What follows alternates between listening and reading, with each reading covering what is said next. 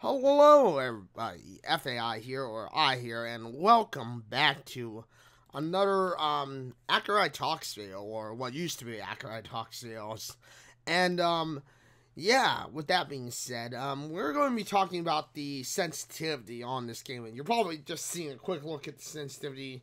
Um, that is just me having been looking at the sensitivity, and you know, the one thing I figured out about Apex Legends is that honestly, sensitivity does not make sense on this game. Like, I can't calculate the game's sensitivity. I can't really um, come up with an idea for the game's sensitivity. I don't even know what the um, sensitivity is like. In in many ways, I just can't figure it out. And to me, this means that you know sensitivity in general just doesn't make sense on Apex Legends. And um, you know, because it doesn't make sense on Apex Legends, you can't really like determine a um you know, you can't determine like what's the perfect sensitivity. And you know, because you can't calculate or determine what the perfect sensitivity is, that does mean that you're in generally general just kind of like stuck doing whatever you could to try and adjust it until it feels right. And, you know, this means that sensitivity really doesn't make sense, and it in general means that overall you just can't really um, figure out what's going on with it. You can't understand, you know, how to make the sensitivity work for you.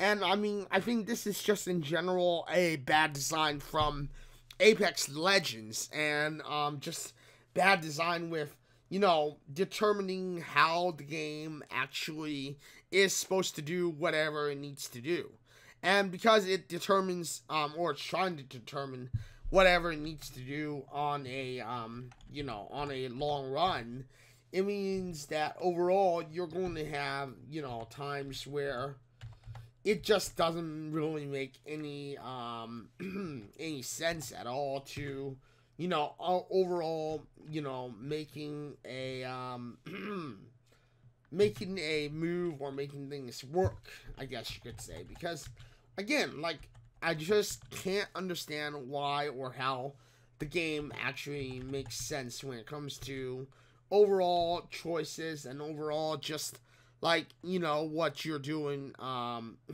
in general and what you could um you know what you should be doing. Because i mean again like you know overall there's just no actual easy way of understanding the um the game or understanding like how the um you know how the overall you know sensitivity is meant to be and, you know, like it is, because there's no real way of determining the overall sensitivity or what it's meant to do, what it's meant to be. Um, you know, you can't determine how to make the game work for you.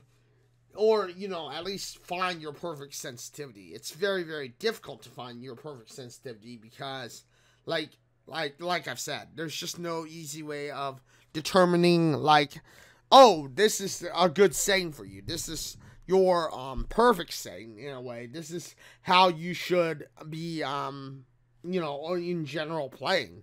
But you know there isn't really like I said a way to really make yourself work or have it work to you know for you. And because it can't really work or have you can't really make it work for you, obviously, you know, I think that you know, it's very hard to determine what your perfect sensitivity is. Like, I'll explain it on on Fortnite, and I'll explain how in Fortnite you can basically get your perfect sensitivity almost with no issues and almost with no problem. And because you can get your perfect sensitivity with almost no issues and no problem, you are able to, you know, in turn, make a determination of oh, this works for me, this doesn't work for me. And because this doesn't work for me, then I can do this. Or I can do that, you know. And I think that's the one thing that really helps it with um just in general making your um you know process overall work. Um, you know, because like when your process overall works, especially when you can pin down your exact sensitivity, it really makes the game that much better, in my personal opinion. Now, that's my personal opinion, and that's just how I find to be, um, you know, how I find you to be, um, you know, better overall in the game is to, you know, determine your personal, um, you know, place and, you know, be able to determine your, um, you know, your overall, um, choices when it comes to being, you know, when it comes to being, um, you know, just in general sense, sense wise, and just in general of, you know, knowing your place and your position. Because, I mean, you know, again, like, I find that overall, honestly, it's just very difficult to determine where the, um, sensitivity is and what's the uh you know the overall place of of your um your game your your um you know your overall you know I guess you could say general position for the game. And you know with that having been said I don't know how you know Apex Legends could mess up the game anymore. I mean, I've already determined and talked about my concerns and my thoughts with the game and all the other things that go around it. So I don't need to go over that again. But I mean, you know, without a good no no no idea or knowing of where the sensitivity is and where um you know you should be overall with um you know overall with um you know just in general making the perfect sensitivity for yourself you know, because you can't do stuff like the um stuff like the um, you know, like the um what is it called? The um calculations. You can't just like determine how many frames calculation wise um, you know, calculation wise that you can have versus um and know the exact amount of frames that you're using or e- EDPI. You, because you can't calculate the EDPI, that's what I was going by um, going with. Um, you can't determine like, oh, I have you know 201 effective dots per per inch. Um, and again, I'll talk about my effective dots per inch and EDPI and stuff on Apex um, or on Fortnite. And you know, this is why I don't think Fortnite is. And I'll go into you know my concerns and another video talking about what I think about Fortnite and why I think Fortnite will last longer than Apex Legends.